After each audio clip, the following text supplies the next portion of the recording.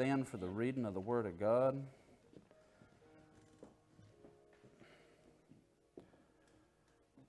For we, not just me, but we, amen, are laborers. It's not a dirty word. Together with God. You are God's husbandry. And you are God's building. Father, we thank you for the reading of your word. Lord, help me to recap quick and to get into new ground, Lord. Uh, thank you for the honoring that went on this morning because what you honor, you access, Lord. So I know there's things going to be coming out today in abundance, Lord, because you will never disappoint. Never. We love you and we give you glory, honor, and praise in the name of Jesus and all of God's children in the house say, Amen. Amen. Hallelujah. We went over that miracles are usually just enough, but that after the miracle, there's a mission. Yes, the Red Sea parted, but it was to get Israel out of Egypt. And yes, Jesus was raised for the dead, but that was to be able to raise up many sons unto glory. We learned that you don't need more than enough to start, but you will need more than enough to finish. We uh, went over last week that more than enough is a byproduct of just enough that's been developed or compounded over time. And that we stated that you develop daily, not in a day. Are you ready for new stuff? I'm going to hit the tail end of last week, and we're going to just roll and flow right into some new stuff this morning. More than enough is for the intention of fulfilling your purpose, not your pleasures. See, somebody, when they finally get the faith message, a lot of times they will get it and they will start perverting it. I even had to do that myself. I can remember before I was ever baptized in the Holy Spirit, before I ever started learning kingdom principles, and I, and I saw the code that was laid out in Scripture, amen. Before that, I would give to the Lord, and I didn't know anything about sowing and reaping. I didn't you know anything about future destiny, purpose, and everything. I just gave to God because I loved God. I didn't know anything could come of it. I had no idea that what left my hand would never leave my life. And I was even taught, you know, when I was younger that if you didn't tithe, God would take it out on you. If you ain't going to tithe Him, He'll take it out on that car. You'll have to have, you know, your car break down. You're going to tie that washing machine to tear up. I mean, all kinds of different stuff. Which was basically, it was people trying to manipulate other people to give. Amen? Because their motives probably wasn't pure either. Amen. Amen. And I always just gave just because I love God. And then after I received the Holy Spirit, and I realized this is a kingdom principle. This is how things work for increase in the Bible. That whatever you have, you put it into His hands and He multiplies it. It's the law of multiplication. That one seed might produce one stalk of corn. Well, that one stalk of corn might have about six or seven hundred other seeds. Well, you take that six and seven hundred seeds and plant it, and, and, and how much more are you going to have to have after that? Thousands. See, it's multiplication. And so when you get that and you start learning that, your flesh can rise up and all of a sudden you can start using God's system for your own.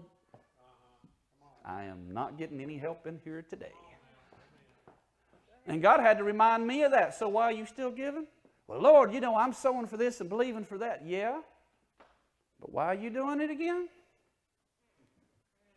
There's nothing wrong with naming your seed. There's nothing wrong because if you have a need, sow a seed. This is kingdom principles. But you can't get it perverted and, and do it for your own pleasures.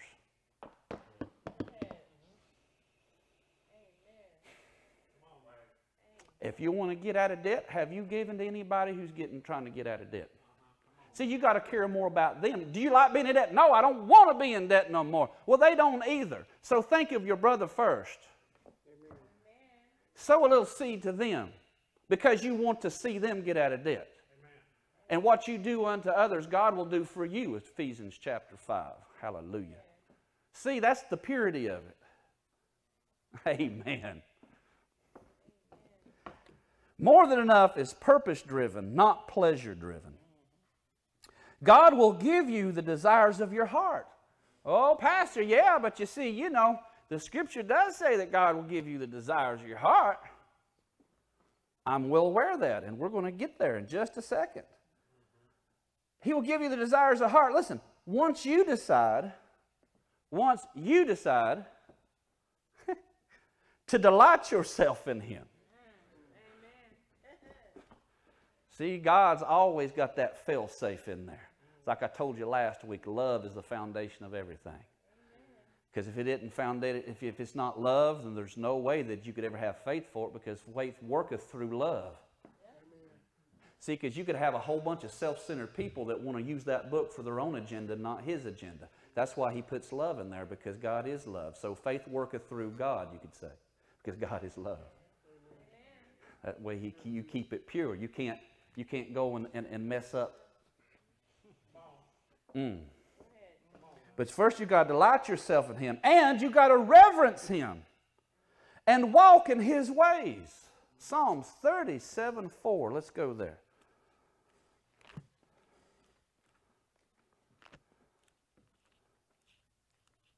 Don't just take part of a verse and frame a whole doctrine around it. Just like you hear, well, God will work together, all things together for good. That's not the only part of that verse. And there's a few verses before that and a few verses after that. Amen? Amen. It's quiet in here now, isn't it? Because my Bible reads in that section that those who love God and are called according to his purpose all things will work together for good. Well, I love God. Oh, okay. Well, let's let's don't just throw words around. If you're going to use the Bible, then we need Bible definitions. You can't just put your own definition in there. The Lord said in in uh, First John that if you love me, and matter of fact, He said in the book of John, if you love me, you'll keep my commandments. So if you love Him, all things will work together for good. What does that mean? That means you're keeping His, and that's as New Testament as it gets, y'all. Psalms 37 4.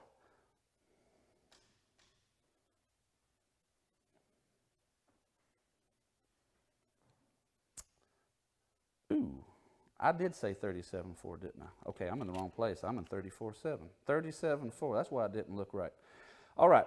Delight thyself. Delight thyself. That means you giving yourself over you're happy. Matter of fact, going literal, it means to be flexible and pliable. Let me break that down to you. That means your will is this. God wants you to do something, and you're like leaning towards a, no, you don't want to, but He wants you to. But if you delight yourself in Him, you're pliable. You'll bend you will bend. You will yield yourself to Him. It sounds a whole lot like, not my will, but thine be done. Amen. See, we don't have the weight of the world like He did on His shoulders, but we have Garden of Gethsemane moments every day in our life. Yep. Amen. This is good, y'all. I am preaching already my face off. We're going to have these moments. And if you're delighting yourself in the Lord, that means you're bending, you're pliable, you're soft. You're delighting yourself in Him. Sounds a whole lot like putting God first. Thou shalt have no other gods before me. Amen. Love the Lord God with all your heart, your mind, your soul, and your strength. That's delighting yourself in the Lord. Once you do that, see, everybody wants to skip to the next part. You got to do A before. Delight yourself in the Lord. Why in the world does any preacher that's actually called to God say to stay in worship and stay in the Word? Why in the world do we all say the same thing? It's because we're trying to delight ourselves in the Lord. Being pliable, putting Him first. Once you delight yourself, and you know what? you got to put that flesh under because it don't want to. It says this uh, carnal mind is enmity towards God in, in Romans.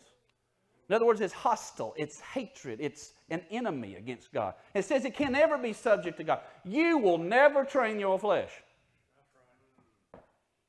See, there's a lot of people out there that they walk, that, that there's a line out there, and they try to get as close as they can without touching it, and they think, they think that if they get that close, they won't step over it. Your flesh don't operate like that. It can never be trained. It can never be obedient. It hates the things of God. It's an enemy. It's hostile with the things of God. You've always got to keep your flesh under. Amen. You see, your spirit has been redeemed. Your mind is being redeemed. And your flesh will eventually one day be redeemed. Future tense. But you got to deal with it right now. And you have got to, you've got to purposely, intentionally delight yourself in the Lord. When Scripture's so clear that when there's a battle coming, you send out praise first. You send Judah first. You send out praise. How many times do we send out pleading and begging before we do praising? I'm not minimizing problems and struggles or anything else, but see, we've been conditioned. We got to recondition ourselves to the, what the Word says. Because if you, oh, I am going to get so up in your business. If we really believe that, we wouldn't be half as stressed and distraught as we usually are when problems come. You're just showing yourself just what you really truly believe about your God and His Word. Yeah, but this is going on, that's going on. Yeah, it is, but God. Amen. I ain't getting no help today. But what is whatever it is compared well, I'm depressed. Well, the joy of the Lord is your strength. Hallelujah. And his presence is fullness of joy. Oh, hallelujah. But see, your flesh wants to have pity parties. That does not mean that there's not concerns. The Lord told you to bring your cares and concerns to Him, but He also said, He said, cast your cares upon me. See, y'all don't realize it, but when you go around and mully grub and sob and murmur and everything else, what you're doing is you're carrying your own care. You've not cast it on the Lord, you're carrying it. The very fact that you're still upset about it means you're trying to hold on to it. You're trying to work it out. You're trying to do something with it. And that's a form of pride. You were never meant to carry a care. He told you to cast your cares upon Him because He can handle it. It even says in Hebrews uh, chapter 4, it says to labor to enter into his rest. See, that's what separates religion and good preaching. I could get up here and say some stuff and hoop it up and everything. You got to give it to God. Hallelujah. Amen. Stand up and turn around three times on your left foot and God gonna bless you. But you got to battle that flesh that wants to cry out and that wants to murmur, complain, and wanting to be in pity and everything else. That is not going to help you. That is counterproductive. You enter his gates with thanksgiving. You enter his courts with praise. You send praise out before everybody and everything. If you really believed, if you really believed this book, why would you ever be worried again? The master said, Let not your heart be troubled. The emphasis is you. Do you really believe that? Are you going to be troubled? Yeah, but they say, yeah, but what did God say? Think he can't handle it? You think it caught him by surprise?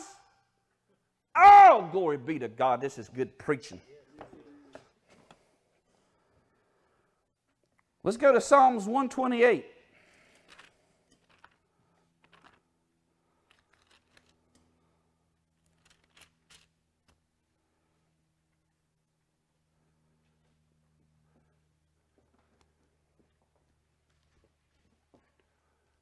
Hallelujah.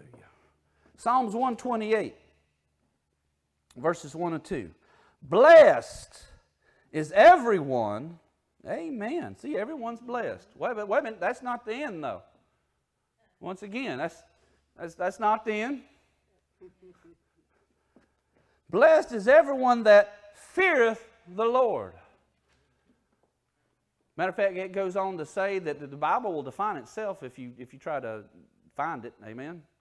It'll define itself. It says the fear of the Lord is to shun and to hate evil. The Fear of the Lord is not you're, you're scared that He's going to smack you over the head with a lightning bolt or something like that. It's reverential. It's you're in awe. He's God Almighty. And you're in awe at Him. You see, yes, He is our Father. Yes, He is our Daddy. Yes, by the blood of Jesus, we are brought into the Holy of Holies. Yes, we sit in heavenly places with Christ Jesus. Yes, we are joint heirs with Christ. Yes, that we are sons and daughters of the Most High. But how could you really see Him as He is and not be in reverence? I mean, we have got angelic, we got the 24 elders around the throne 24 7 just as soon as they, they bow down and just as soon as they see him again, they got to go right back down again and say, Holy, holy, holy is the Lord God Almighty. Tell me this how many people have, how many people, when you see the scripture, actually see any kind of angelic beings or, or, or uh, visualizations from God? How many of them say that they feared and trembled? See, there's a lot of people say, Well, I saw an angel, and they just go on just like he was, you know, just like homie or something like that. But when I read my Bible and somebody really has an angelic experience, uh huh. That's right. For us guys, you know, your leg might be a little wet afterwards. Amen. Amen. It's something to behold, it's something to see. Glory be to God. I know sometimes we entertain angels unaware, but that's just because they, they testing something, they doing something. But when they want to make themselves known, Hallelujah. There's something to it. I'm not saying there's fear, it's just that it's awesomeness. And what you don't understand is there's awesomeness in you more than awesome than that. I don't like it when people like you, somebody passes away where they needed another angel in the choir. Why would you say that about them? That's horrible. What do you mean? What, what, what do you mean? That, that's honor. That's not an honor. It says in the book that we are sons of God. Angels are not sons, they're servants of those that will receive salvation. The Bible says that we're to judge angels. Did you know that? We're going to judge angels. So to be compared to an angel is a demotion. That's an insult. Don't say that to me. You're insulting me. I'm made in the image of my Father. Glory be to God. Oh, we got to get back to the basics. Get a hold of this word, our identity of who we are in Him. Hallelujah. Delighting ourselves in Him, having reverential fear for Him, that he's God on. Listen, and just because you say that does not mean you still can't snuggle up in daddy's lap. You, you, you're just getting one extreme on one side and one extreme over the other. Because the same Bible that says fear, fear the Lord is also the one that says boldly come into the throne room of grace. So don't run off in one direction too much. Rightly divide the word, Scripture say. I just don't know how. This is going to be. Amen. When we see him face to face, oh, well, it says that in the book, it says that when we see him, we'll be as, uh, we'll be as him. Amen. Y'all can't handle that this morning. I better move on from that one. Blessed is everyone that feareth the Lord, that walketh in his ways. That's Old Testament. New Testament says the same thing. That we be like him, that we're to be, that uh, we're to be like him to walk the way he walked. Amen. Amen. Reverential fear to walk in his ways. See, we sometimes forget that we always talk about his birth and his death. Praise God for his birth, born of a virgin. The, the, the, the, the Lamb of God in his death that was slain for the foundation of the earth, right? Well, guess what? There, in between baby Jesus in the manger and hanging on the cross, there was a whole life he lived, y'all. Why do you think that we got insight peering into his life? Because we are to walk in all of his ways. Amen. Yeah, but he's Jesus. Why do you say the works that I do you should do also? Mm-hmm. Why do you say that this is the victory that's overcome the world, even your faith? Once again, quoting what I said, you believe in God, believe also in me. Why let your heart be troubled? In this world you will have tribulation, but be of good cheer, for I have overcome the world. And this is the victory that has overcome the world, even our what? See, it goes hand in hand. Oh, help me, Jesus. Verse 2 For thou shalt eat the labor of thy hands. Thou shalt eat the what? That's what we talked about, kicking this thing off. We labor with God. He wants laborers in his field because there's a plenty harvest. He doesn't like people sitting idle. He wants them to get out. Paul was saying he labored more than they all. Amen. Because we need to take our just enough and we need to labor and get more than enough. Take the one talent, get the two. Take the two, get the five. Take the five and get the ten. Amen. Amen. And see, it's not, it's not earning, it's learning. It's not a works mentality. It's not greed, it's growth.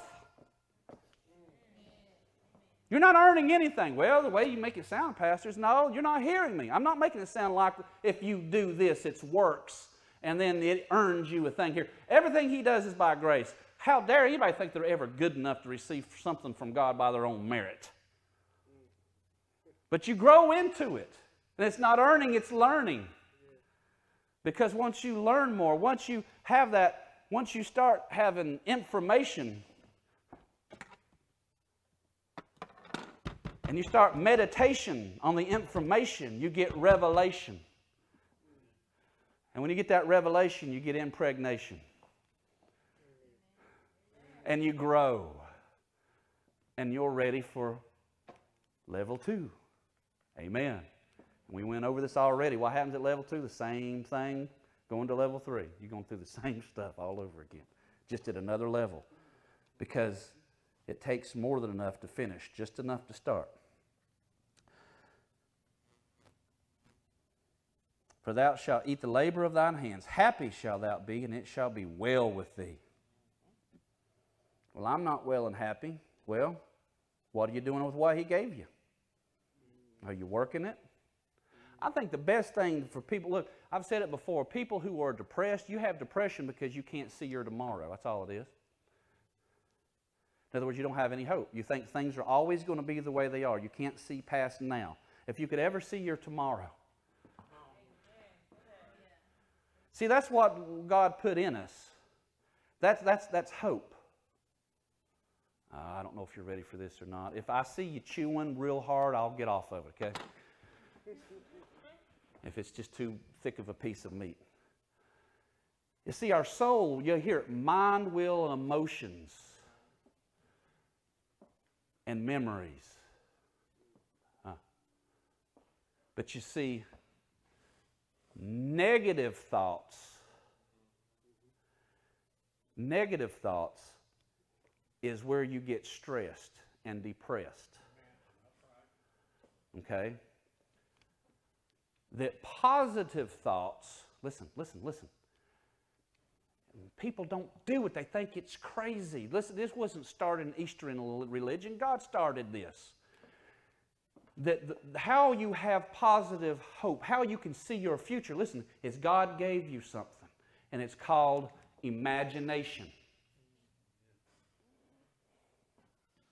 See, your memories you can't change your memories. They are what they are. So you can go into your past and you just have to see it for what it is. Hopefully, you can see where God was with you through the whole way. Amen. Through the good and the bad. He's always going to be with you. He'll never leave you nor forsake you. But imagination, I can't believe I'm going in this direction. Here we go. Your imagination is positive hope. God has given you a womb to birth something in. That's your imagination. That's you seeing your tomorrow. That's calling those things that be not as though they were. That's taking this book and seeing what he says, because faith is the evidence of things not seen in the natural, but you see it inside yourself. You have positive imagination. And if you're always living in your now or you're always living in your past, of course you're in a funk. Can you see what God has said for you? Can you see it? Because I'll be honest with you, I'm, we're all geared the same way. If you could at least see the finish line, you probably will finish your course. It's just that so much we, we have something that goes on for so long, we get so conditioned to a condition that we don't think it has an expiration date. Why? Because, well, we've woke up, uh, uh, you know, 2,039 days just like today. Why is today going to be any different? For the first maybe 200 days, I had high hopes. Well, what changed? Did God change? Did His Word change? Or did you change? And you start thinking about what couldn't be instead of about what could be. Because if you really knew that this thing had an if you really believed, if you really believed when he said we're going to the other side that you would get there, you wasn't getting funks. Because you know something's getting ready to happen on the other side. Because he said so. And like we've been talking, well, yeah, but so much. What is time? Time is trying to grow you. It doesn't change God. God's not like, well, you know, I promised them, but you know, I got to cook that thing up for about three years. That's hard to cook. Ain't nothing hard too hard for God. He even said that too. He said that to Sarah back in Genesis. Anything too hard for the Lord. Thank you, Holy Ghost. We get worried, distraught, and depressed and, and distressed because we can't see our tomorrow. Because that's what happens. When you can't see your tomorrow, you constantly live in today. And until you can break out of that, your tomorrow will be your today. Amen. Just keep chewing on it and you'll swallow it eventually. Not being satisfied is a symptom of continual growth. You ever notice that somebody that is in a funk and they just stay down and out and they're just they've been there for years and there is no change in their life? Remember, nothing will change in your life until you do. Nothing will start working in your life until you do. And they just refuse to work on anything. They refuse to change anything. They stay in their today, and their today will always be the today because once the you know once the midnight, it's it's today again. You never really get to tomorrow if you think about it. So your tomorrow's got to start today. And have you ever noticed that anybody's in that condition that they, they, they never have a uh, not being satisfied with stuff? In other words, they get complacent and, and they just is like, well, this is just how it is. Well, thank God at least I got a roof over my head. And you need to be thankful for that. Ain't nobody saying you need to be not be thankful for grateful for what he has given you. That's not being taught out here. But those that stay stuck are those that stay. They, they you just stay. You're not thinking of tomorrow. You're not taking the word and imagining. You're not using your spiritual womb to birth something in. You just stay where you're at. I mean, why did you think, thank you, Holy Ghost, why do you think that God said, Abraham, I need you to step out of your tent? Good God Almighty, I'm about to run. Y'all living, some of y'all just living in your tent too much. God's trying to talk to you. You can't get an understanding of what He's trying to say. So sometimes He wants you to get out of your tent because all you see is your four walls. That's all you can see. Why do you think He got him out of the tent and said, Look at the stars?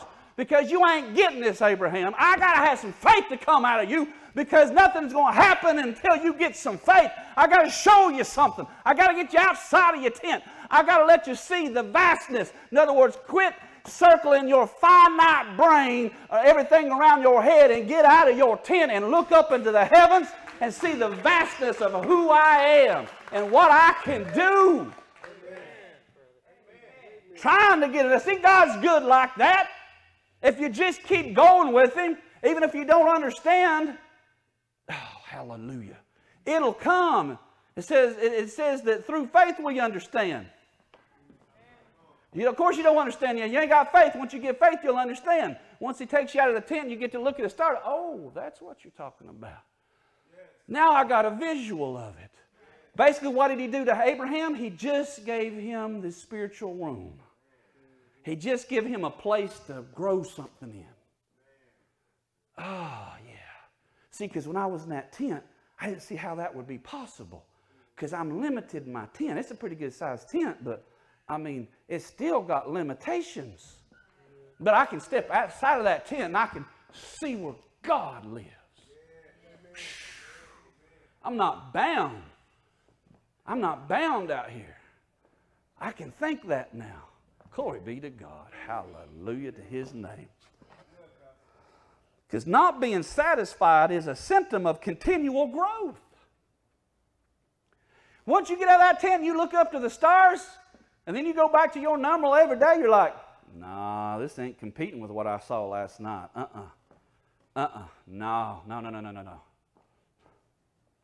It's like somebody giving you an all access pass to Disney World, Universal Studios, and uh, what's that other place that's there? Epcot Center. Epcot Center. They give you a pass, and you get, the, you get to go to the first, first in line pass, and they give you a three day pass, and you do that, and then somebody decides that they're going to send you to a small country fair. It just don't excite you quite like it did out down there in Orlando, would it? Amen. Amen. And see, that's, that's healthy. Because what happens, you've been going, used to going to little country fairs, and you think the little swirly twirl is awesome. You think the darts hit the balloons. I mean, ain't nothing like that. Then all of a sudden, you step into Epcot Center or Universal Studios, and you realize, oh, whoa, you're getting exposed to something. But if you always stay stuck and small, you'll never be exposed to big. And you, it starts right here. As a man thinks in his heart, so is he. If you're always thinking small, you'll always do small and you'll always be small. But God came that you would have life and have it more abundantly. For His purpose and pleasure. He said He created all things for His purpose and pleasure. Your gifts, talents, skills, and everything is for the kingdom, to grow the kingdom. And He don't want you in this small little area. I can remember when I first, I might as well just start here. How much time do I got? I ain't got Kimberly in here. I need to wind it down. I'm not even going to get halfway into what I was talking about. Glory be to God. Miss Kimberly's usually up here with the clock to let me know when I'm, my time's ticking on. I'm, I'm encroaching on that right now. But see, I'd always, when I got saved, it was you know, in the Appalachian Mountains, North Carolina, and there's nothing but small churches everywhere. I mean, if you go into a, a 200 seat church, they would consider that big. And so usually you have, you know, churches that'll hold, you know, 50 to 100 people or something like that. And they're, they're everywhere and praise God for them. I'm not condemning them. Amen. Don't get out here saying I'm condemning those little country churches. I saved in a little country church. Hallelujah. Amen. Amen. But that's all I ever knew. And then I come down here to Mobile. And then I had the opportunity because I was just so curious about it. What's that over there? Oh, that's a church. That's a church? It looks more like a fort. Well, yeah, it's a church. You sure in a Coliseum? No, that's a church that's been there for a long time. So I stepped in the Dauphin Way for the first time. And I'm like, Lord Jesus. I mean, my mind is being blown, but listen, I'm growing at the same time. You mean you can really do this? God, God really thinks this is okay? I mean, this is not being like carnal or, or, or, or just being selfish or, or th- this, is, this, is, this is okay? And I expanded and grew. And then it come to me. Listen, once again, I'm not condemning small churches and everything else. Amen? We're a growing church. Last year, we took care of a family for Christmas. But you see, when I see the vastness and I see the growth and, and I see everything for God's glory and splendor, see, I just don't think about materialistic things and being the talk of the town. When I see this, you know what comes with that? We, we don't just feed one family for Christmas no more. We could feed a hundred. We don't just have one or two service teams out in the community. Now we have enough people, we got a hundred teams out well, y'all sound like you're just going to come in and take over. Yep. Yep. Ain't no bones about it. Going to be a colony of the kingdom.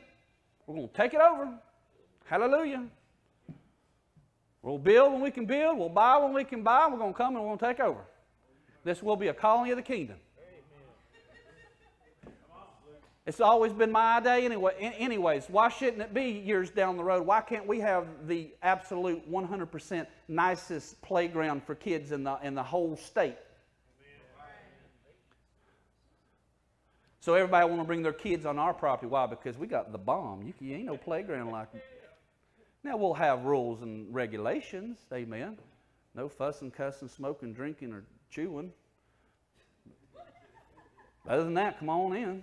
Amen. For the community. I can see I can see maybe this building one day will be turned into a vocational center or something. Because of the stuff that I've been talking about right now. Nobody ever told them that they have gifts, skills, and talents. So you can bring the carpenters in here, you can bring the plumbers in here, you can bring the electricians in here. And you can give them through a certified course where they can get a certification to be able to take a test to get a license to be able to go and have a job.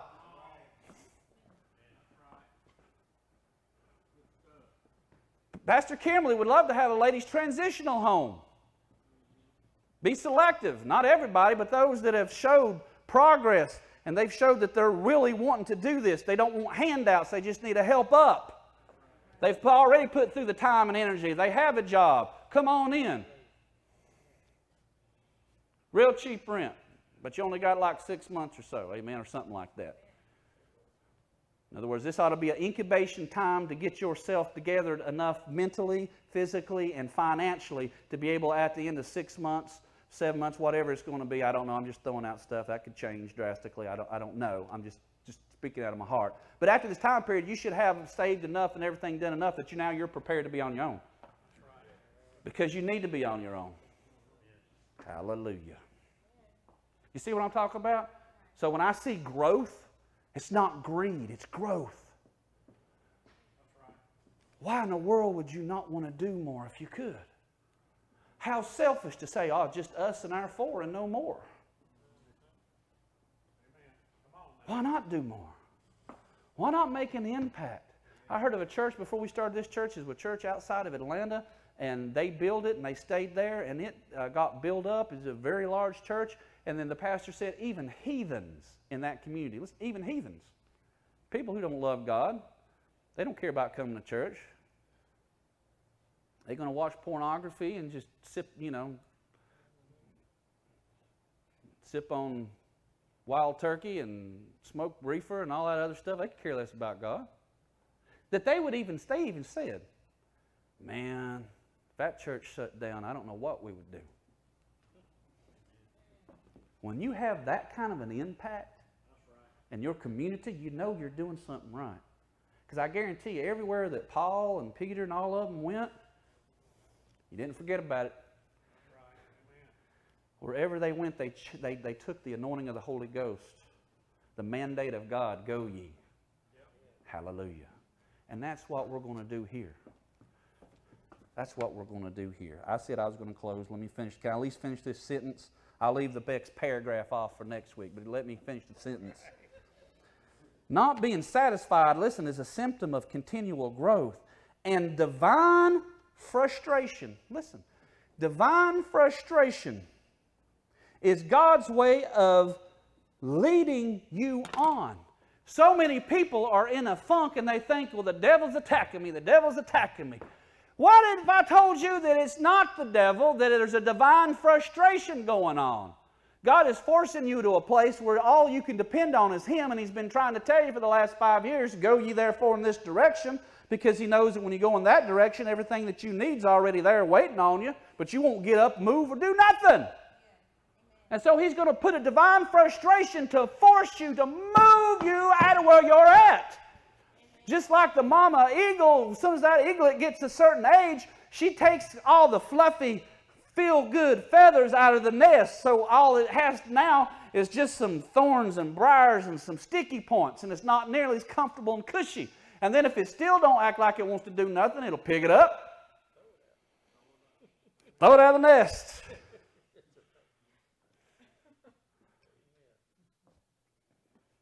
And so, not everything in your life is an attack of the enemy. Some of it is divine frustration. And I've been sitting here as an enforcer of God to kick you out of your comfort zone. because we believe what we said. It was a mandate for God to activate the purpose and potential planted in every person. You can't do what you want that God wants with for your life if it just stays dormant. Somebody got to agitate, water, and activate that seed that God planted inside of you. You got to get moving. You'll never reach your destination. Look, God cannot steer a parked car. If you've just got your life in neutral or your life in park, you're going nowhere. If you get on, well, I don't know what to do. I hear that. Well, I don't know what God will do. Do something. Because even if you're on the ro- wrong road, if you're still traveling, God can do a U turn. He can't do nothing for your life if you're stayed parked in the driveway. So quit begging, screaming, pleading, crying, and everything else. You got to get on the move. And then God will lead, guide, and direct you once you get on the move. He's the, he's the best GPS system. He's, he's it. He knows in from the beginning. But you got to get on the move. You've got to be exposed. As the music plays, somebody play the music so it'll remind me I got to quit. Before I get crunked up again, I might say something that gets me happy and I'll go for another 10 minutes. You have got to get out of your tent. You've got to get out of your comfort zone. You've got to see the sky and see the vastness, the, the limitlessness of God. And delight in Him. And see your tomorrow. Reverent Him. Be in His presence so you can hear what He's trying to say. I don't know about you, but I can hear Pastor Kimberly a whole lot easier when she's talking right in my ear sweet, sweet words than I can if she was halfway across the campus. So if I want to hear what she's got to say, what do I do? I get in her presence. Hallelujah.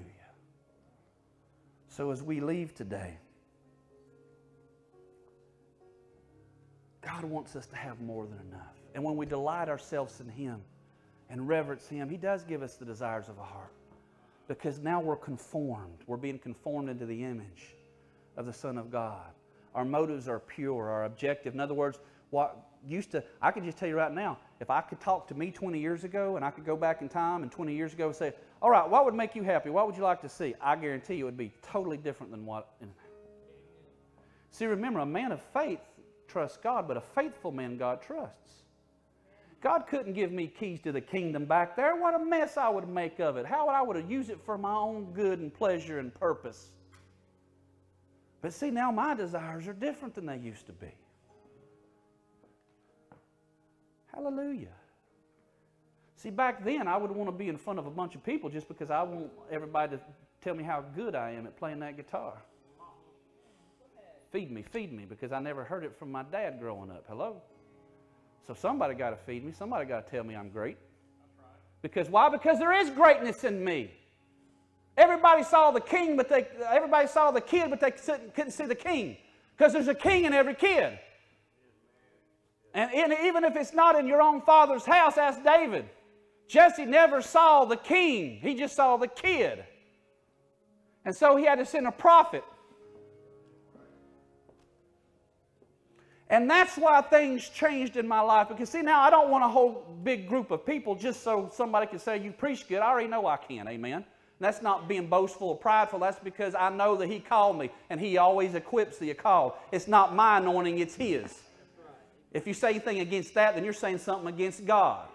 I didn't call me, I didn't anoint me. That's not my word. And, he, and, and, and what's going through, uh, the anointing's coming through me is not because I thought of something really good. I'm not that smart, y'all. Amen. But see, now it's different. Now I want to see a whole big group of people. Wow, because of the testimonies that went out earlier. Because your life's going to be changed. Your life's going to be. Your life's going to be changed. You and you. You're finally going to figure out your purpose and call. You're going to realize there's greatness in you. You're going to come out from under that. You're going to become over that. Oh, yes. You're going to find a place to operate in your grace. You're going to be able to function in your unction. And then after it starts, then I see the community start changing. And the time I go home to be with the Lord, I can step back and say, I've run my race and finished my course because property value the, in this area neighborhood was you can buy houses for 59 or $69,000, but after 40 or 50 years of ministry, bringing the kingdom in, the blessing in, having this place developed, now you got gated communities. You see people's lives transformed, poverty kicked out of this area. That principality got to go down. You see religion booted out. People know who they are in Christ. And you see walls of racism tear down. Well, it ain't a black church, it ain't a white church, it's not a Hispanic church, it's not an Asian church, it's the church.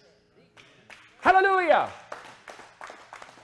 Then all the newscasters wondered how in the world in lower Alabama, Alabama? How can so much diversity and so much love, how could you get so many people in one place with one mind?